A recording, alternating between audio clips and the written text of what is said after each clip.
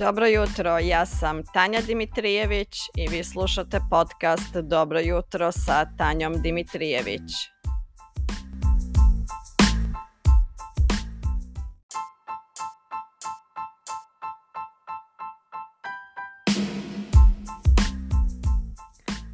Dobro jutro i dobrodošli u još jednu epizodu podcasta Dobro jutro sa Tanjom Dimitrijević. 20. je maj 2023. E, godine i danas je svjetski dan e, pčela. Bez pčela ne bi bilo života jer e, većina biljaka je zavisno od polinacije. E, pčele vrše polinaciju na oko 80% divljih e, cvjetova u Europi i tako omogućuju rast e, drveća, cvijeća, biljaka e, koje su izvor hrane za mnoga živa bića uključujući i nas ljude. Pored toga što postoji oko 20.000 E, vrsta pčela širom svijeta njihova populacija opada zbog gubitka životnog staništa, upotrebe pesticida i klimatskih promjena. E, kako im možemo pomoći? Pa tako da koristimo manje hemikalija, da sadimo biljke, da gradimo kuće za pčele ili da zasadimo e, baštu za njih da bismo pomogli sa hranom i sačuvali e, zdravo stanište za njih.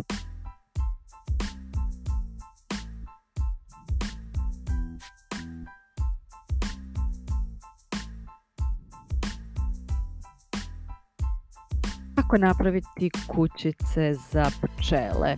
Kućice za pčele pomažu solitarnim pčelama, e, to su pčele koje žive samostalno, dakle ne roje se, nemaju maticu, niti žive u košnici, a ipak rade sve što i pčele u roju, čak i bolje. Jedna solitarna pčela radi efikasno kao čak 120 pčela medarica i može podnijeti temperature od čak 8 stepeni Celzijusa. Zbog toga je jako korisno pošivanju voćnjaka, pogotovo onih voćaka koje cvjetaju u rano proljeće. One u prirodi žive u drveću, u deblima, pukotinama, ali e, takvih mjesta je sve manje te je dobra ideja da im pomognemo tako da im napravimo dom, da im napravimo kućicu. Kućica može uh, svana imati oblik recimo kućice za psa pardon, ili za ptice. Dakle, tri uh, daske se spoje u četvoro ugao sa gornje strane, a umjesto jedne stranice se napravi uh, krov. Ako je to previše komplikovano, vanjski okvir mogu biti samo četiri daske spojene u četverougao. U njih se stave i zaljepe šuplje bambusove grančice ili neko drugo šuplje granje, postave se malo nakošene tako da se u njima ne može zadržavati voda. A ako je ovo previše komplikovano za vas, možete jednostavno uzeti veći komad drveta i u njemu izbušiti veće i manje rupe i objesiti negdje oko kuće. To će biti dovoljno da pčele u njemu pronađu e, dom. Pogotovo je ova kućica dobra ako imate voćnjake i želite da na vrijeme i dobro budu oprašeni.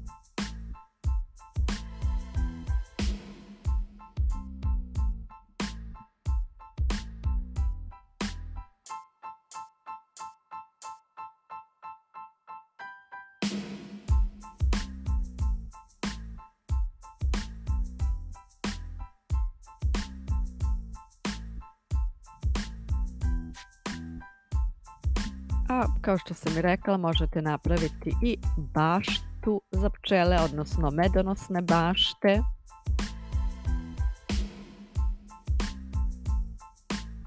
Jer su pčelama potrebne biljke koje proizvode nektar i polen.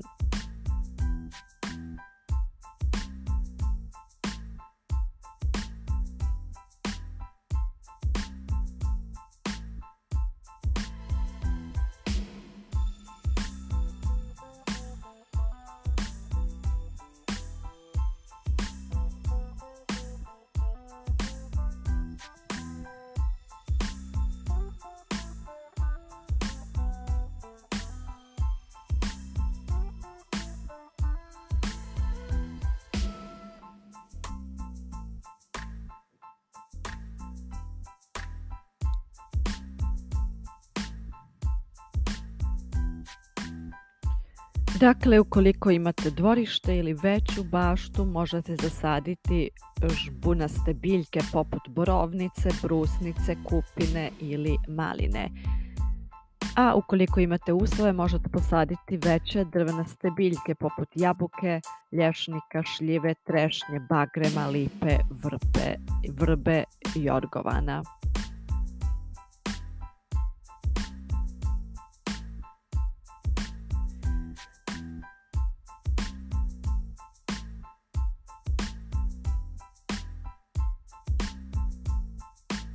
Pa, ako imate terasu ili e, malu bašticu, možete posaditi hajdučku travu, lavandu, suncokret, zlaticu, sedum, hrizantemu, kukurijek, e, visibabu, zumbul, vlašac, žalfiju, ruzmarin, bosiljak, neven.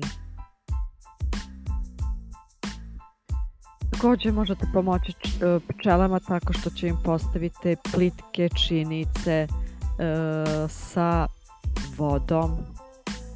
Možete ih ostaviti kada je kiša da e, se prikupi kišnica.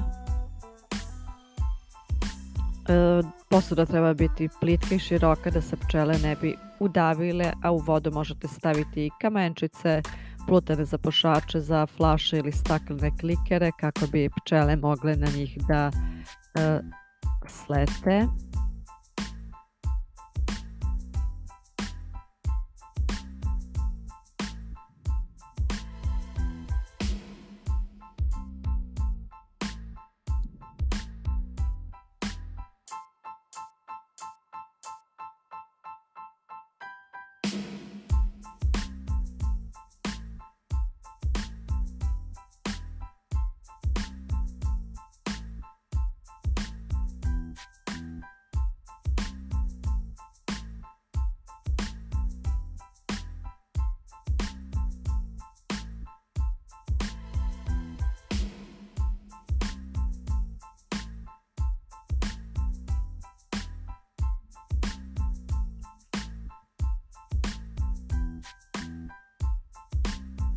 Evo, juče smo, juče smo pričali o sadnji e, povrtnjaka, dakle sadnji povrća. E, ako ste juče počeli vaš e, povrtnjak da pravite, e, evo danas posadite i neke biljke koje vole pčele, tako ćete pomoći i pčelama, a i opstanku e, cijelog našeg ekosistema, dakle i opstanku e, naše ljudske vrste, ali i e, drugih jeli, vrsta na planeti. Dakle, sjemenke u ruke, nađite zemlju, nađite ili napravite sami saksiju, iskoristite neki materijal, neku možda e, plastičnu posudicu e, ili nešto slično, možda plastičnu bocu i napravite neku saksiju i zasadite e, biljke. Možete staviti saksiju na prozor, na terasu, uvijek ima gdje da se stavi ukoliko se ima e, volje i želje, a ja se nadam, pošto slušate ovaj podcast, da imate i volju i želju da učinite nešto dobro i za sebe i za druge, ovog puta za pčele.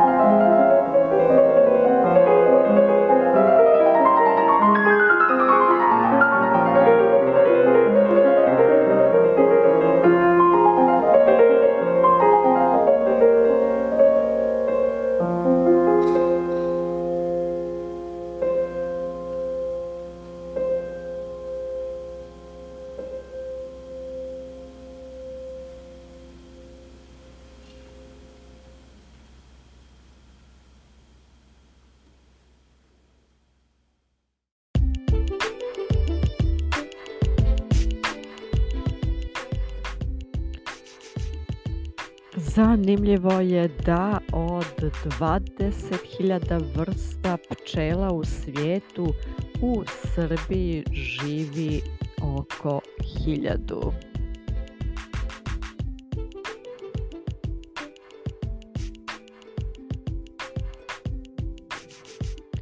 A jedan crtani film koji znaju generacije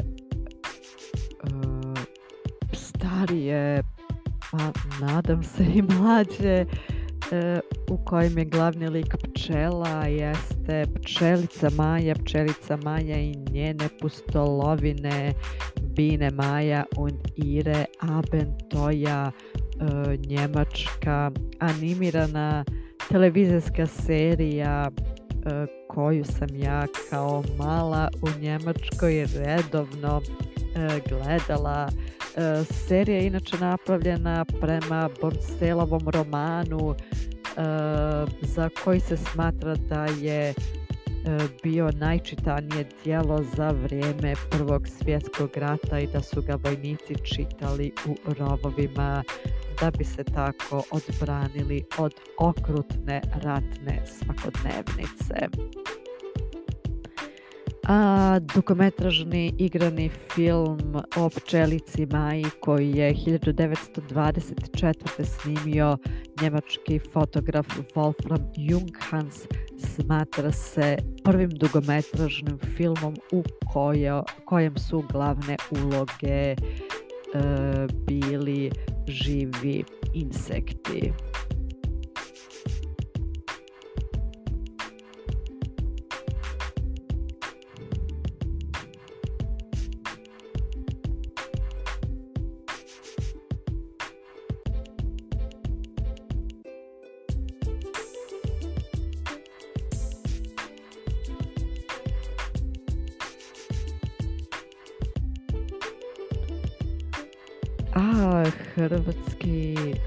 Skladatelj Bruno Bjelinski je 1957.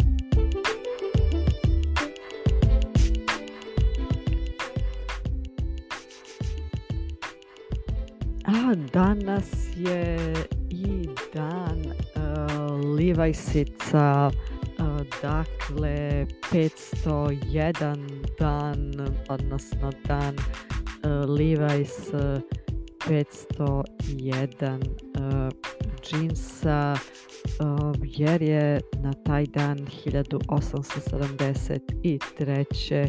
Levi's dobio zvanični patent, odnosno patentiran je od strane dva imigranta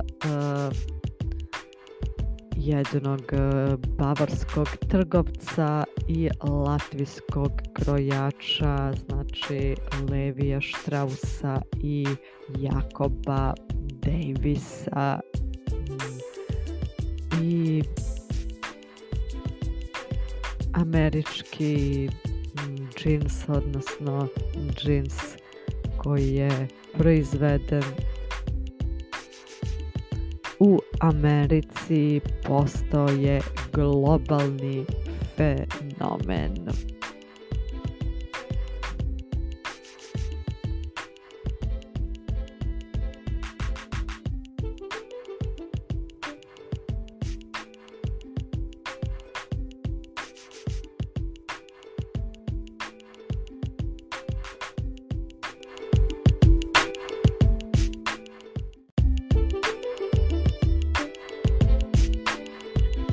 A sada nakon ove priče hajde da malo razgibamo naše tijelo dok traje sljedeća muzička numera, dakle nešto više od 5 minuta. Hajde da uradimo neku vježbicu, da uh, istegnemo naše mišiće, da pokrenemo naš vrat, naša ramena, ruke, noge, da uradimo nekoliko vježbica, da možda malo plešemo, da malo skakućemo, dakle idemo da se razgibamo.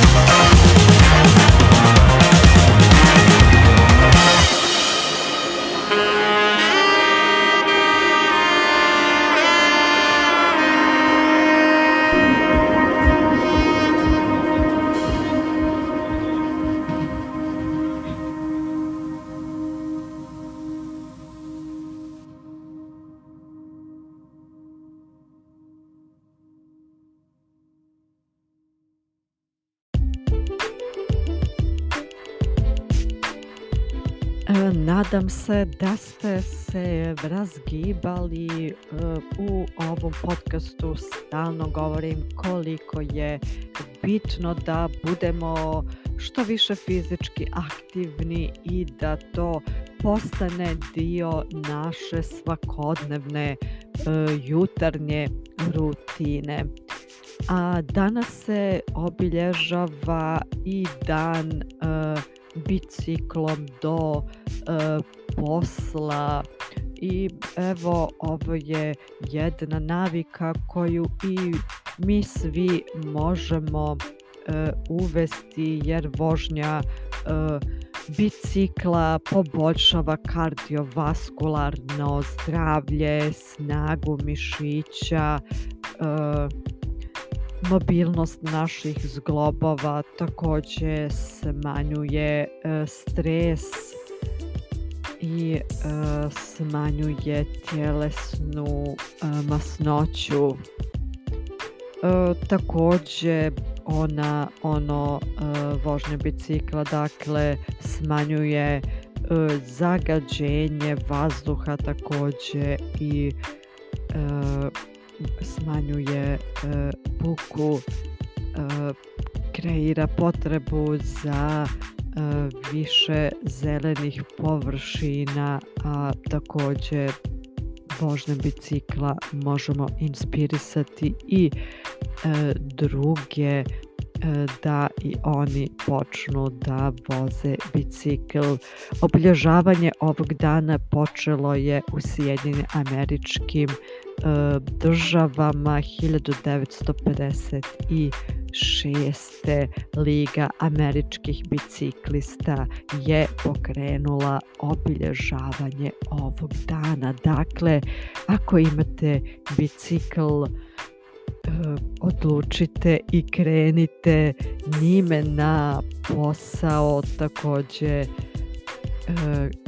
vozite bicikl sa porodicom, sa prijateljima, uvedite ga kao redovnu društvenu aktivnost u vašem životu, idite njime u kupovinu i tako dalje. Ako nemate bicikl, nabavite neki, e, možete nabaviti polovni ili vidjeti možda neko od vaših prijatelja, komšija, rođaka ima bicikl koji ne koristi, a koji e, vama može posuditi ili pokloniti. Dakle, vozite bicikl, e, čuvajte vaše zdravlje i čuvajte okoliš.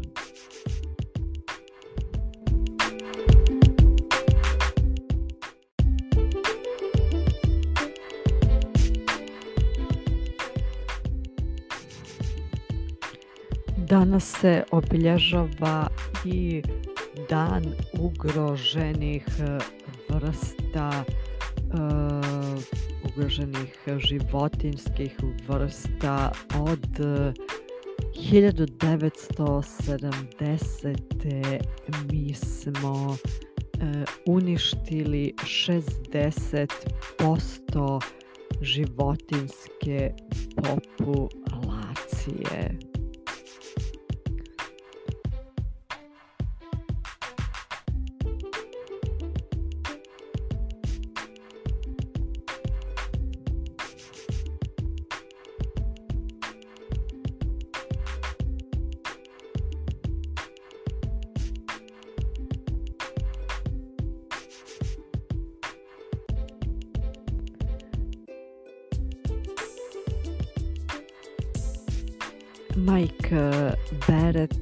Direktor uh, Svjetskog fonda uh, za prirodu, za zaštitu prirode uh, je uporedio dakle taj to uništenje 60% životinske populacije sa potencijalnim e, uništenjem 60% ljudske populacije. To bi dakle značilo da bi se ispraznila Južna i Sjeverna Amerika, Afrika, Europa, Kina i Okeanija. Dakle, kao što bi bilo prazno toliko kontinenata, toliko mnogo ljudi bi nestalo toliko smo mi životinskih vrsta doveli do uništenja. Kao što stalno isto potenciram u ovom podcastu mi zaista treba da se dobro zamislimo nad time šta smo uradili i šta radimo i da budemo svjesni da bez e, drugih životinskih vrsta, evo danas smo pričali o pčelama, dakle od tih nekih najmanjih, e, od insekata, mi e, ne možemo živjeti van prirode i ako nastavimo da ovako dalje uništavamo prirodu i životinski biljni svijet, mi ćemo uništiti i našu vrstu. Ja vas molim da edukujete druge, da budete glasni i na društvenim medijima i privatno u stvarnom jeli životu da se borite da zaustavimo ovo istrebljenje životinskih a i biljnih e, vrsta.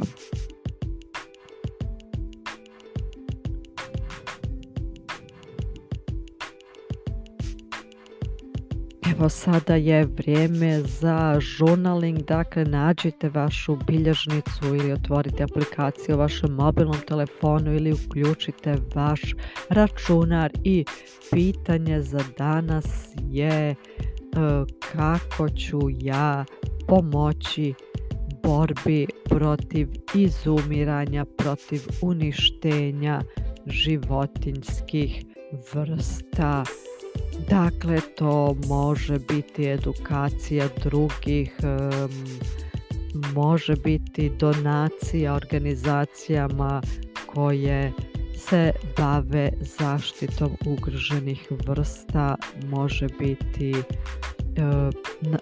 organizovanjem nekih akcija, događaja, projekata i tako dalje eto, razmislite i vi sami e, šta možete da uradite.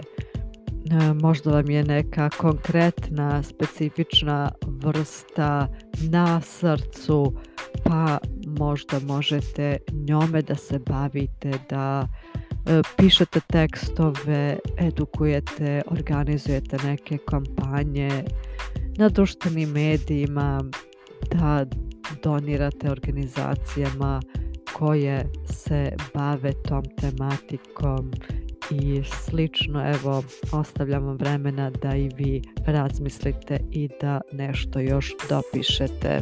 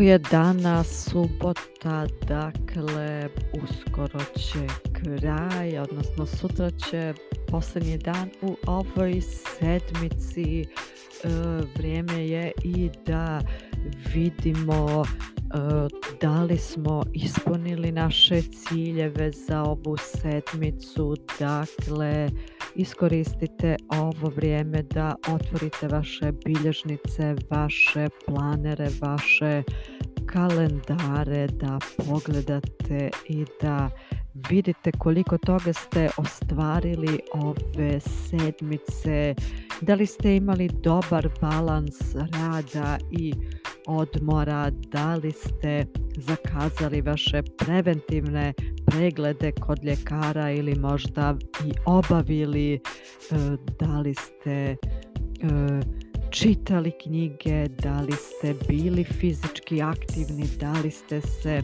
zdravo hranili, da li ste poboljšali e, vaše odnose sa ljudima do kojih vam je stalo, da li ste brinuli o okolišu, e, iskoristite narednih nekoliko minuta da vidite kako vam je protekla ova sedmica i šta danas možete uraditi da biste ispunili vaše ciljeve za ovu sedmicu i živjeli bolji i ispunjeniji život.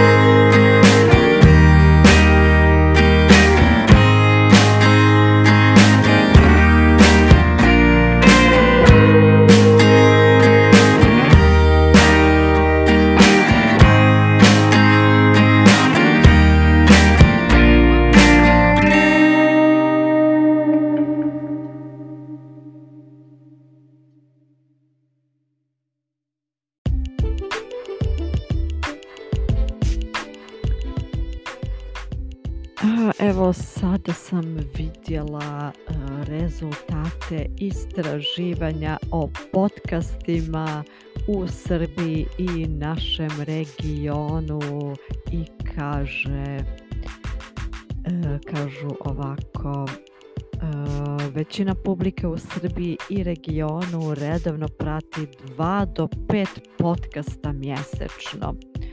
Podcasti se prate da bi se naučilo nešto novo. Kvalitet sadržaja i odabir gostiju je ključan za publiku. Najviše se prate društvene i popularne teme. Publici nedostaju dokumentarni formati. Podcaste najviše prati starosna grupa od 30 do 45 godina, visoko obrazovana i većinom ženskog pola 59,7%, pa onda nije ni čudo što i moj podcast najviše prate stariji i ženski pol. Da, meni to malo bilo čudno kada sam počinjala, jer sam mislila da će podcast najviše da prate mladi. E, mali broj autora se profesionalno bavi samo podcastom. 75% autora razmišlja o monetizaciji i saradnji sa agencijama.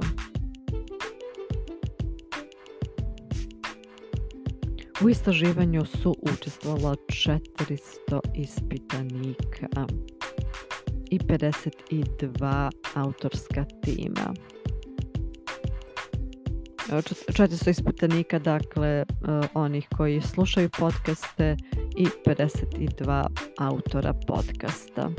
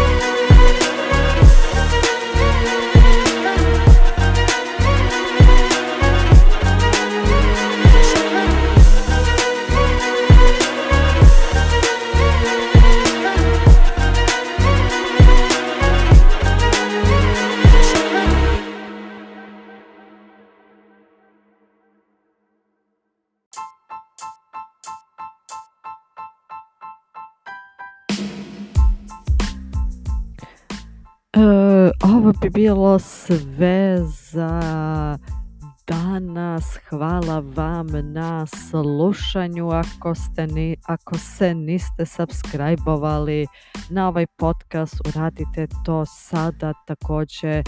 E, mi možete ostaviti komentar, e, snimiti glasovnu poruku ili poslati poruku na e, profile, odnosno preko profila na društvenim medijima. Linkovi su u opisu epizode i podcasta.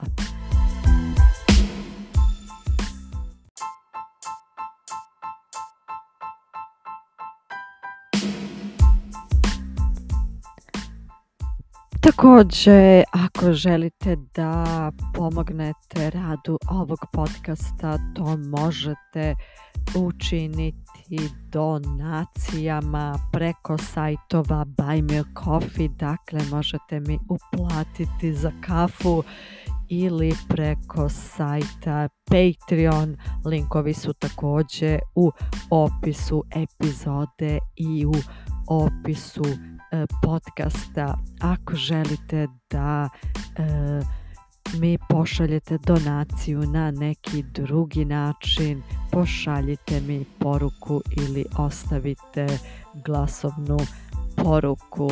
Hvala vam još jednom na slušanju. Želim vam prijatan dan i slušamo se opet sutra. Prijatno!